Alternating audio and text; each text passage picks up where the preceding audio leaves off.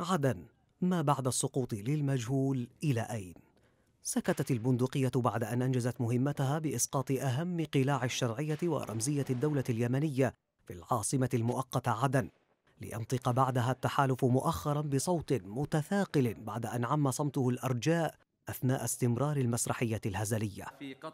طالبت دول التحالف الطرفين بوقف إطلاق النار في عدن ابتداء من الساعة الواحدة بعد منتصف الليل وقد انتهت المعارك أساسا قبل حلول الليل. بعد هزيمة قوات الشرعية وانتصار الانتقالي الجنوبي المدعوم من الإمارات.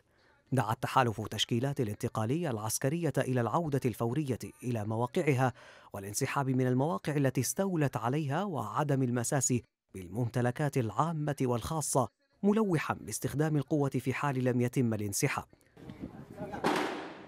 سقطت عدن العاصمة الثانية للدولة اليمنية أمام مرأى الإقليم والجوار وبتواطؤ منه.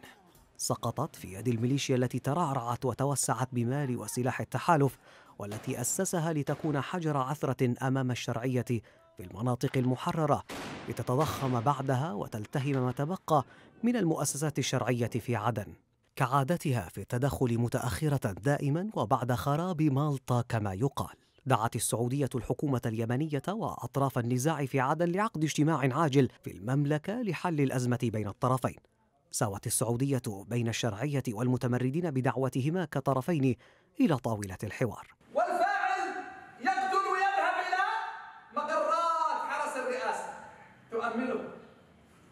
بالأمس رأينا الدواعش والقاعدة يقاتلوننا في معسكراتهم.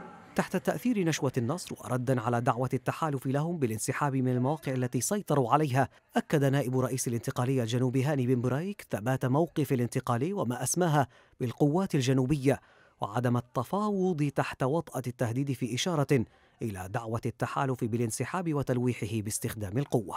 باستراتيجيتها الجديدة التي أعلنت عنها بإعادة التموضع أسقطت أبو ظبي العاصمة المؤقتة عدن في يد ميليشياتها كما أسقطت صنعاء بيد ميليشيا الحوثي ليواجه اليمنيون مصائرهم المجهولة بشرعية هشة خاوية. لم تستطع مواكبة الأحداث ولا الاستفادة من أخطائها. حملت الشرعية بلسان الخارجية اليمنية الانتقالي الجنوبي والإمارات تبعات الانقلاب في عدن الذي أدانته لكنها عادت لتقبل بالدعوة السعودية التي تساويها بالمتمردين. مزيدا من التنازلات تقدمها الشرعية للميليشيا حتى تجد نفسها مجردة من قوتها وعاجزة عن فعل أي شيء.